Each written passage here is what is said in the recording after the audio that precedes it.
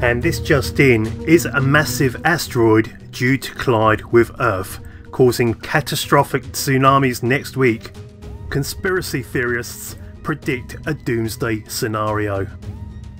The object named 2016 WF9 by NASA will penetrate our atmosphere and have the impact of a huge atomic weapon, it's claimed in an article published in the Daily Mirror today.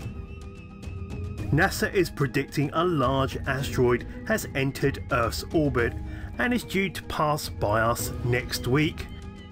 NASA claim it's quite safe, although it will be a close approach. But a number of conspiracy theorists have made a much more sinister prediction.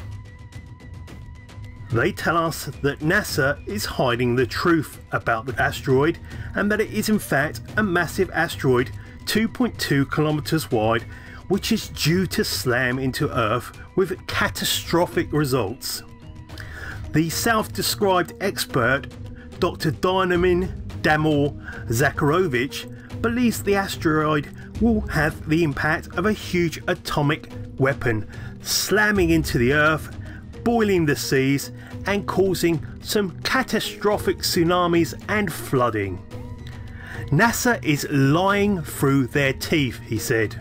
It's not conceivable that they don't know the truth. We've seen the data, the Mirror report con continues. Dr. Zakharovich believes the asteroid originated from the mysterious planet of Nibiru, which is stated by some to be in our solar system and fast approaching the Earth. This rogue planet, sometimes also called Planet X by conspiracy theorists, is often blamed for natural disasters. Dr. Zakharovich claims the asteroid bounced out of the Nibiru system in a slingshot effect is, and is now hurtling directly towards Earth with a nickel iron core, he continues, meaning it's not going to burn up when it hits our atmosphere. And this is just a start of some of the damage that things from Nibiru could cause us in the coming months. NASA probably knows where it's going to splash down.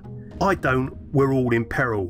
NASA has dismissed the existence of Nibiru as an internet hoax. In a press release, the space agency said the trajectory of 2016 WF9 is well understood and the object is not a threat to Earth for the foreseeable future. It's up to you what you believe. Sooner or later, one of these asteroids will hit Earth. As you can see here, NASA produce a list of near-Earth objects and they show all the close approaches from asteroids and other bodies in the last few days and in the coming months and years. If we just look down the chart here, you'll see that in the last few days there have been almost a dozen different close approaches from asteroids to the Earth.